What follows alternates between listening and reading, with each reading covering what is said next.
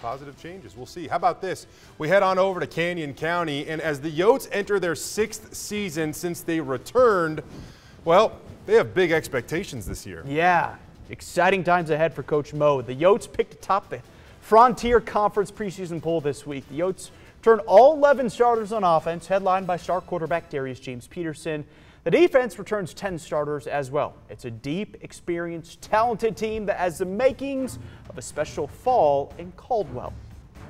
Our team revolves around the quarterback, Darius James Peterson, his uh, senior season coming up, and uh, we can't find enough ways to, to do what he does best. He can throw the ball deep, he can throw the ball short, he can